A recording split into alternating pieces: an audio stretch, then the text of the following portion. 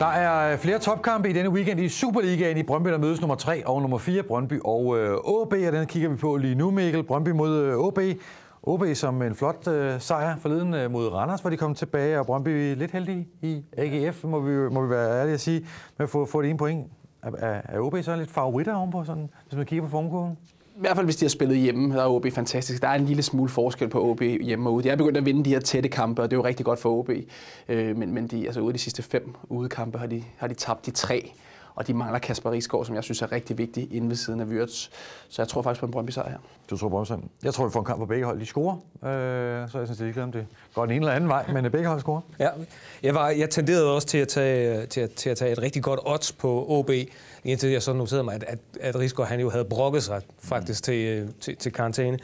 Øhm, OB de har Lukas Zweimal, så han ringer nok. Han, han skal bare ringe den ene gang, for jeg er fuldstændig enig med dig. Jeg tror nemlig også på, at vi får en kamp, hvor der bliver, bliver mål i begge ender. Så må vi så se, om uh, han scorer 1 eller 2 mål. Så begge hold scorer også over fra, øh, fra dig, Per.